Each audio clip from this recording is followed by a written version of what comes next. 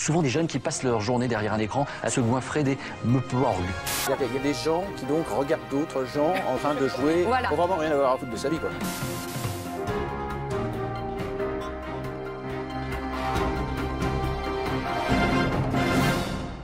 Une des particularités de l'industrie du jeu vidéo, c'est de reposer sur notre tendance à l'amnésie. À leur annonce, Xbox One et PS4 avaient été clairs. Vous ne pourrez pas jouer en ultra haute résolution, 4K, nous avait-on dit, mais l'affichage de films ou de photos en 4K sera par contre possible. Phil Molineux, le président de Sony, avait même dit à la presse que les films 4K pour PS4 pèseraient 100 Go, ce qui avait fait jaser en 2013. Aujourd'hui, en 2015, une rumeur circule comme quoi PS4 et Xbox One prépareraient une nouvelle version de leur console, cette fois-ci compatible vidéo 4K. Ah. Donc ce n'était pas encore le cas. Donc l'annonce des consoles next-gen qu'on s'est tapé en 2013 ne parlait pas des PS4 et Xbox One actuelles. Ah, là c'est la version bêta encore Ouh, bah j'ai eu peur moi. Je suis soulagé si vous savez.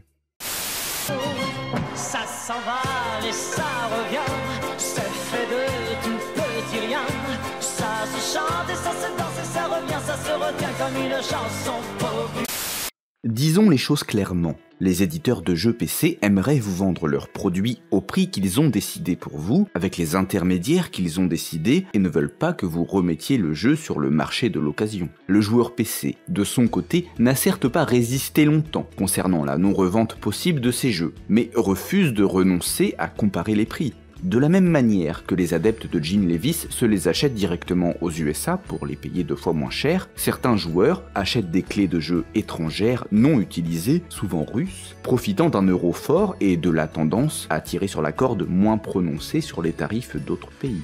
L'astuce du marché gris, comme il se fait appeler, consiste à acheter en magasin plusieurs clés légales pour ensuite les revendre aux joueurs habitant dans des pays pratiquant des prix plus élevés puisqu'elle constitue un manque à gagner. Les éditeurs vous refusent la mondialisation tout en se la permettant pour eux-mêmes. Ubisoft profite du moindre coût du travail québécois ou roumain comparativement à la France, mais refuse que vous profitiez du moindre coût de diffusion russe pour vos jeux.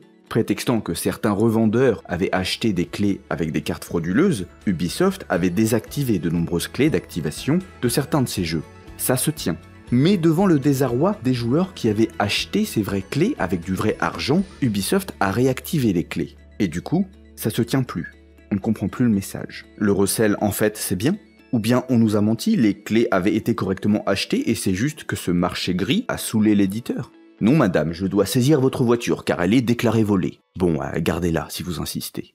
Mais attention, la prochaine fois, euh, n'achetez que chez un revendeur Citroën agréé. Hein.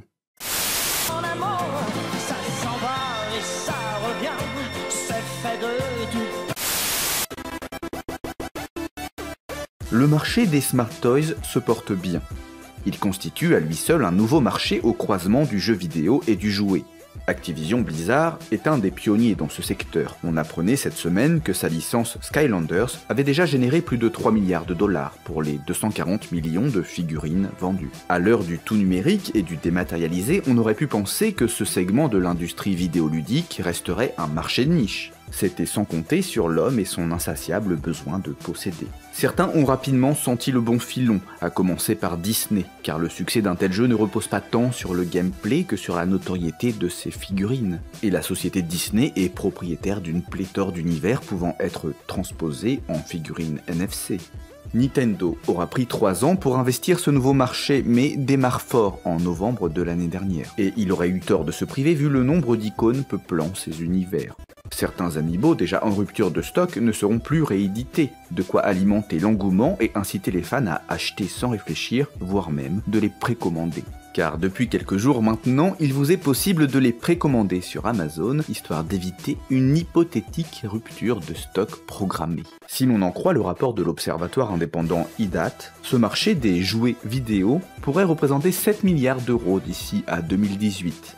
De quoi attirer des marchands de jouets comme Mattel et ses licences Barbie et Hot Wheels.